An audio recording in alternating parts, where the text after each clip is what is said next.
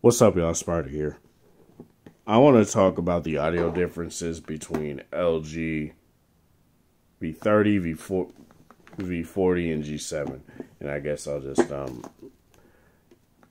do it by chronological order since this is how they came out. Um, okay, so all three of these have the hi-fi quad DAC made by ESS. Um, but the key differences are who they're tuned by. Um, internationally, the V30 and the G7 are tuned by B&O, but in the states and stuff like that, they're tuned by LG. In at least that's what I remember hearing around those times. In I believe all around the world, period, the V40's DAC is tuned by Meridian. And I can say this, but I can say this much because I just recently got back, got another pair of IE800s here. And, um, I can definitely say I can hear differences, like how they're tuned and overall, the V40 is definitely the best sounding of them all. Um, I'd say the V40 is slightly more bass heavy, but not to the point where it muddies out every other sound. You can still hear minute details in the background. Stereo separation is really good when, you know, when you say you listen to songs that have voices going from like left to right and stuff like that. It's kind of sound it kind of sounds like this is very typical audio jargon here, but sounds like someone is literally whispering in your ear. and it sounds like someone is talking to you rather than it just being, you know, simulated sound. And that can be very, well, not simulated, but you know what I'm trying to say. Recorded sound just played back on a phone. And that can that is very well much due to the fact that the quad DAC is very good with distortion reduction and due to the fact that you know these this these pair of you know earbuds have a very low low ceiling of reduction. I, I don't know how to say that. I'm tired right now. But their noise reduction is very good. Like I think it's like 10 to 20,000 decibels or something like that where you very you don't hear noise. Like the only time you will is say you're listening to like an old track and there's like screeching.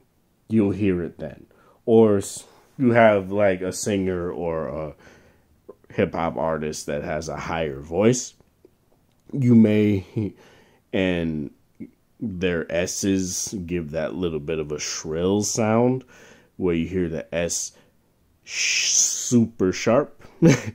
You'll hear it then, but everywhere else it's totally fine. To be completely honest, I'm not trying to say that it's bad, but when you hear it, you definitely do hear it.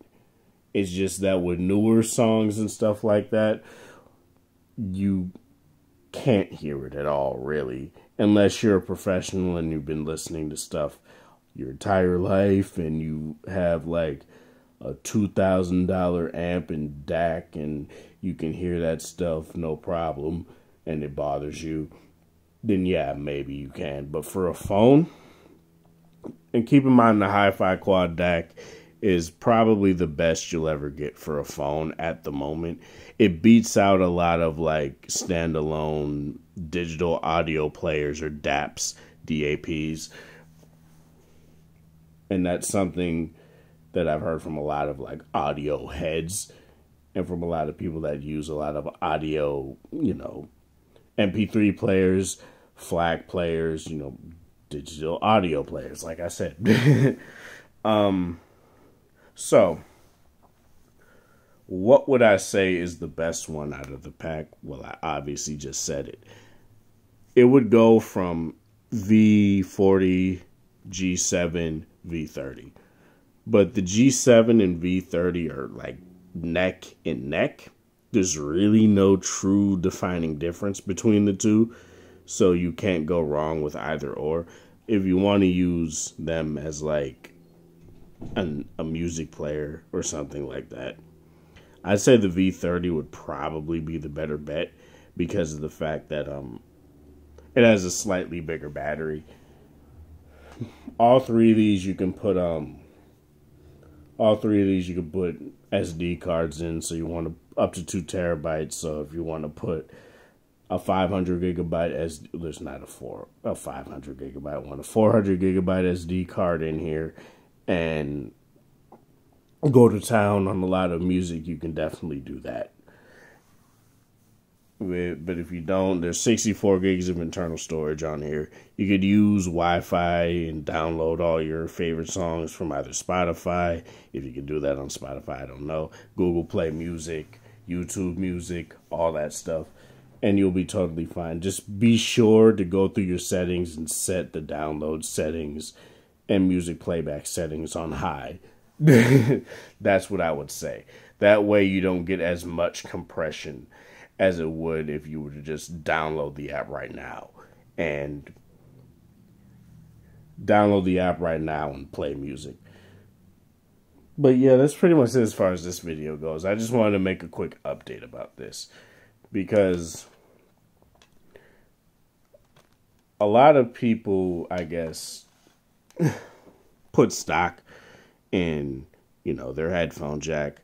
And i'd say that not only is basically every lg phone the best option for that right now especially if you want a something that doubles as a phone if you need a backup phone and a media player plus a lot of like these digital audio players run off like some super jank version of android. If you get any of these you could just update it to its latest firmware if it has it and just go to town on putting music on there and have a smooth experience.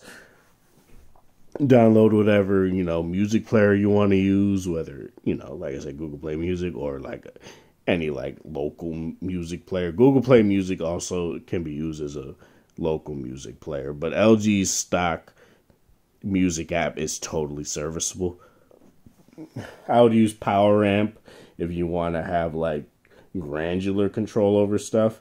But yeah, this is for this it as far as this video goes though.